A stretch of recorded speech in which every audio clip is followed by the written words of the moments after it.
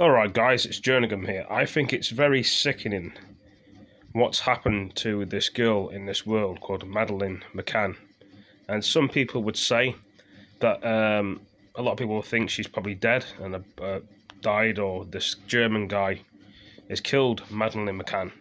And there's a lot of people that don't like speaking about this uh, horrible, sickening act. There's too many people in the world that think it's... A, there's too many idiots in the world and sick people thinking they can just kill adults, thinking they can just kill kids for no reason, thinking they can just do anything they want to do, like hurt people for no reason and abusing people. Now, I don't think that's right. I don't think it, and uh, in my opinion, now people like that are just sick in the head and they deserve to get locked up in prison and throw away the key.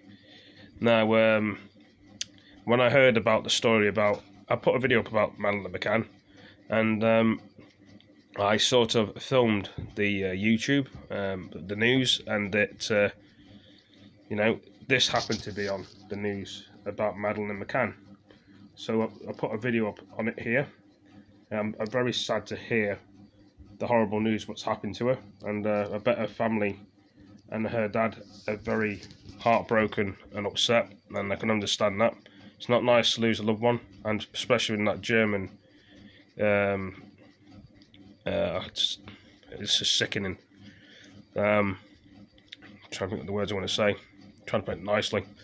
Um, sicko, in my opinion, that guy is the German guy that took her from that hotel. And you hear some horrible news about people dying and people missing, people getting taken for no reason. And there's just too many serial killers out there. There's too many idiots out there that just think it's okay to take someone's life. It's not okay. We, we need more nicer people in this world. And people like this, for example, I know I keep showing Madeleine McCann's face. It's very sad and sickening.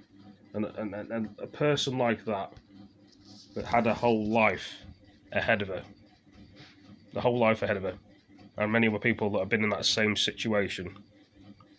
It's horrible, you know. Um, especially that floor, uh, that black guy got killed by a white police officer, and I hope that black guy's, uh, well, I hope the white guy is going to get 40 years in prison, the one that killed him, killed George Floyd, and people have been protesting in the UK. There's just so many things that people have done very sickly, and people wonder why. Well, it's not right in my opinion. Um, when is this country going to stop being so silly? We all get angry, we all get annoyed. We don't just go out killing random people. I mean, a lot of teenagers have lost their lives, so have adults, moms and dads, friends, and, you know, um, there's always somebody that has to push it too far. Why can't we make a stand? That's why that picture's up on the, the YouTube. No disrespect to anybody else. Um,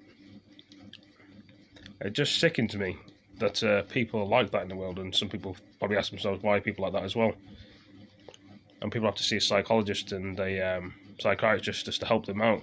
But anyway, what do you guys think about this video? I Hope you all enjoyed it. Give a like, give a comment, share it with your friends, and uh, yeah, see you in the next one. Peace. Thank you, John. Peace.